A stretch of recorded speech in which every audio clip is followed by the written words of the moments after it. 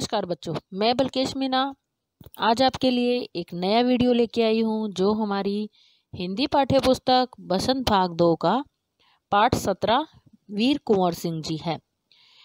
सबसे पहले तो हम इस पाठ के वीर कुंवर सिंह जी के बारे में जान लेते हैं कि वे कौन थे। तो जैसा कि आप जानते ही हैं कि ये जो स्वतंत्रता हमें मिली है, ये कोई आसानी से नहीं मिली। इस स्वतंत्रता को दिलाने के लिए, पाने के लिए हमारे बहुत से वीरों ने अपने जान की आहुति दी है। इस स्वतंत्रता को बनाए रखना हम सबका कर्तव्य है और यह स्वतंत्रता हमसे कोई छीन ना ले।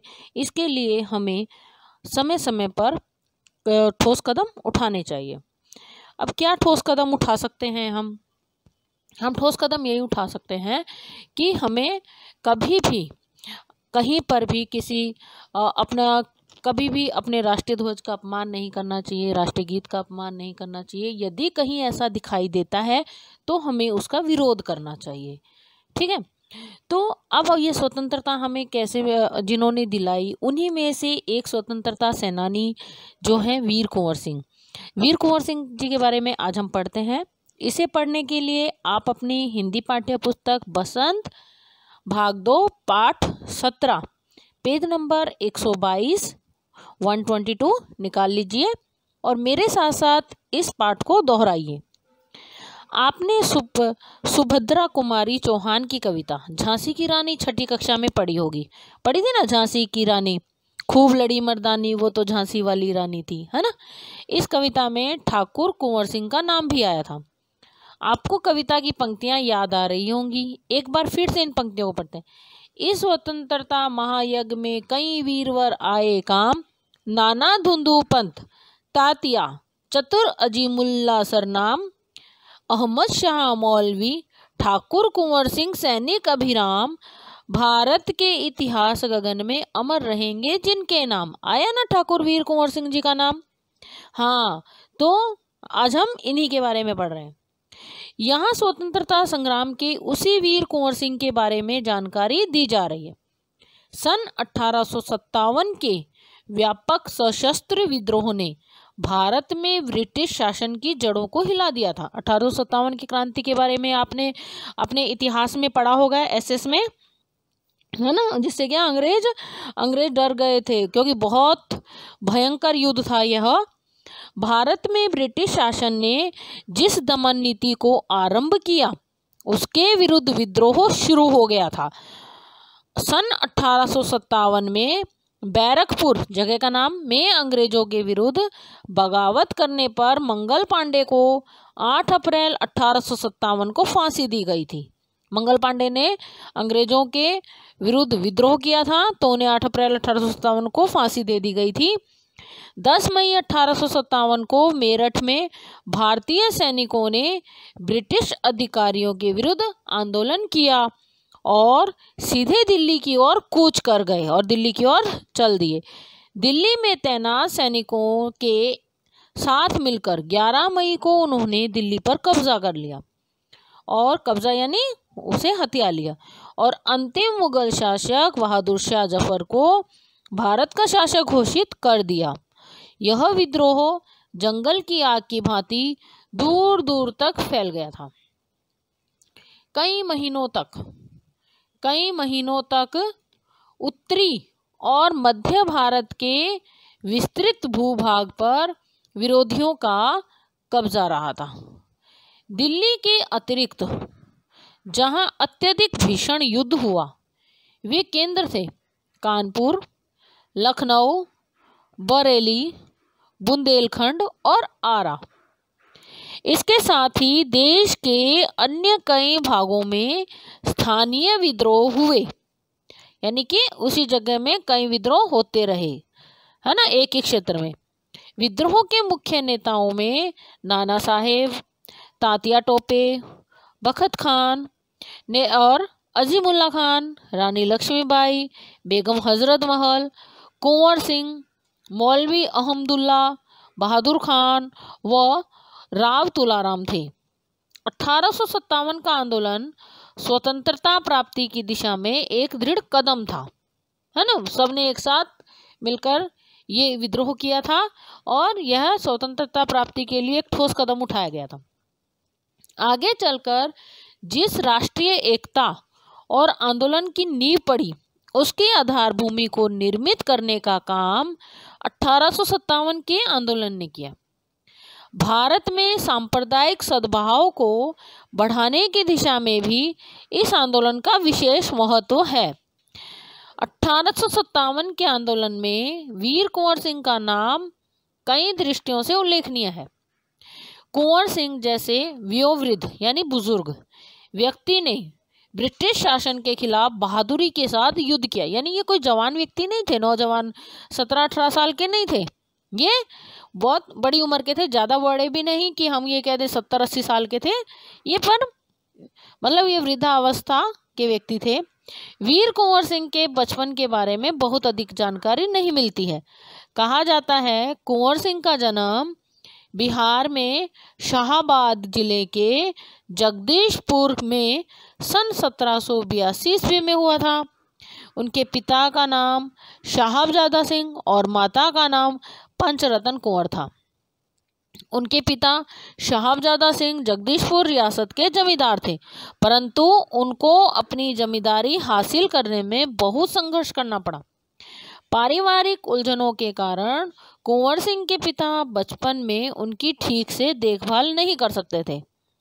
जगदीशपुर लौटने के बाद ही वे कुंवर सिंह की पढ़ाई लिखाई की ठीक से व्यवस्था कर पाए। कुंवर सिंह के पिता वीर होने के साथ साथ स्वाभिमानी एवं उदार स्वभाव के थे, उदार यानी जो दूसरों पर दया करते हैं। उनके व्यक्तित्व का प्रभाव कुंवर सिंह पर पड़ा। कुंवर सिंह की शिक्षा दीक्षा की व्यवस्था उनके पिता ने घर पर ही की थी, यानी उनको जो पढ़ाने के लिए उनके टीचर घर पर ही आते थे। संस्कृत और फारसी सीखी, परंतु पढ़ने लिखने से अधिक उनका मन घुड़सवारी, तलवारबाजी और कुश्ती लड़ने में लगता था। का बाबू कुंवर सिंह ने अपने पिता की मृत्यु के बाद सन 1827 में अपनी रियासत की ज़िम्मेदारी संभाली। उन दिनों ब्रिटिश हुकूमत का अत्याचार चरम सीमा पर था। इससे लोगों में ब्रिटिश हुकूमत के खिलाफ भयंकर असंतोष उत्पन्न हो रहा था। कृषि, उद्योग, व्यापार का तो बहुत ही बुरा हाल था। रजवाड़ों के राजदरबार भी समाप्त हो गए थे, यानी कि राजपूतों के जो राजदरबार थे वो समाप्त हो गए थे। भारतीयों को अपने ही देश में महत्वपूर्ण और ऊँची नौकरियों से वंचित कर दिया गया था। मतलब उन्हें नौकरियाँ नहीं दी जा रही थी।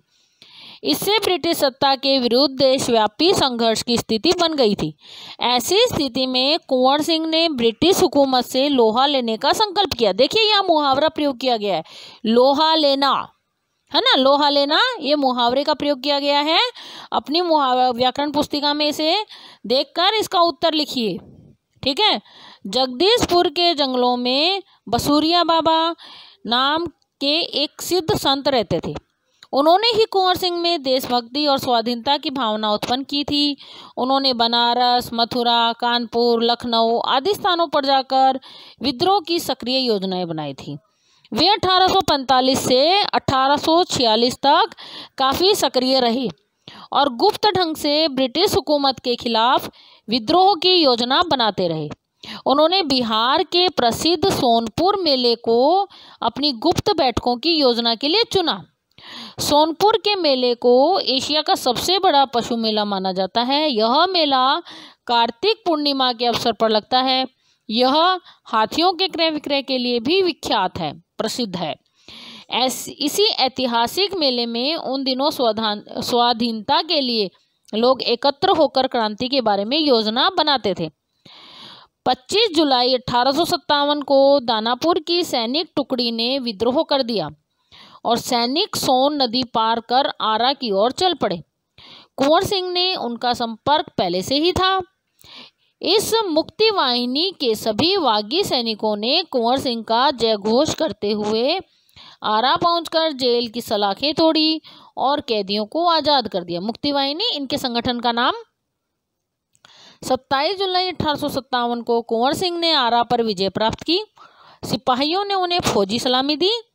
यद्यपि कुंवर सिंह बूढ़े हो चले थे, परंतु वह बूढ़ा शूरवीर इस अवस्था में भी युद्ध के लिए तत्पर हो गया और आरा क्रांति का महत्वपूर्ण केंद्र बन गया। मतलब कि कोई उम्र नहीं होती है किसी भी कार्य को करने के लिए। सिर्फ़ हमें हमें क्या चाहिए? साहस चाहिए, ठीक है?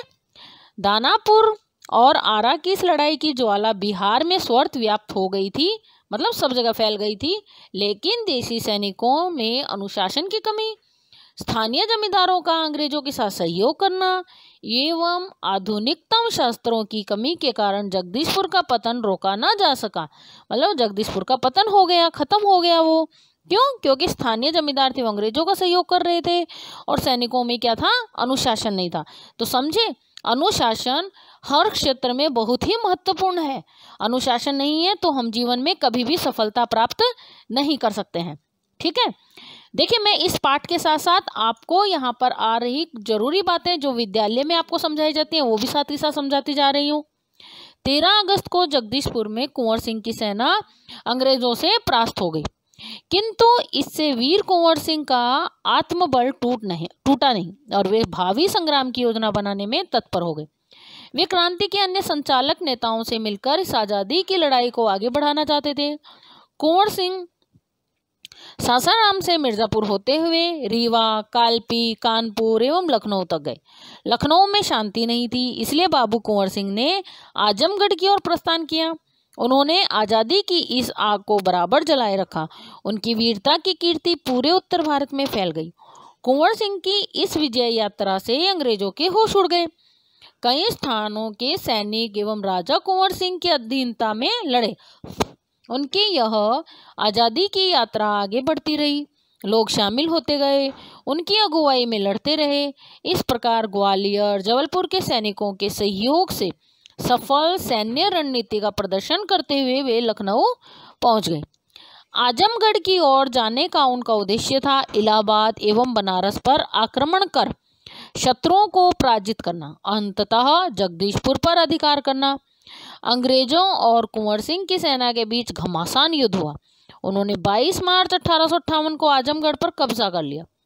अंग्रेज़ों ने दोबारा आजमगढ़ पर आक्रमण किया। कुंवर सिंह ने इस एक बार फिर आजमगढ़ में अंग्रेज़ों को हराया। आजमगढ़ में अंग्रेज़ों को हराया। इस प्रकार अंग्रेज़ी सेना को परास्त कर वीर कुंवर सिंह 23 अप्रैल अठारह को स्वाधीनता की विजय पताका फहराते हुए जगदीशपुर पहुँच गए।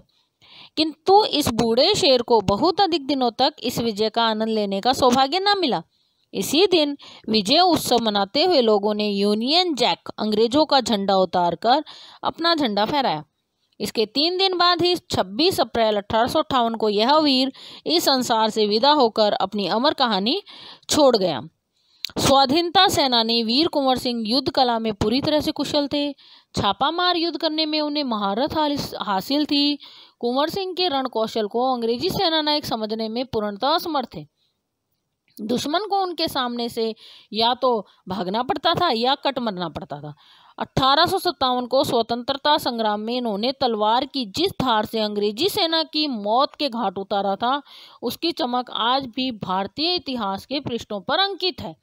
इन्होंने क्या कहते हैं इनकी जो वीरगाथा है, वो अंग्रेज़ों के पास भी आज तक है ना?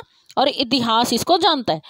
तभी तो हम पढ़ रहे हैं आज से उनकी बहादुरी के बारे में अनेक किस्से प्रचलित है। कहा जाता है, एक बार वीर कुंवर सिंह को अपनी सेना के साथ गंगा पार करनी थी।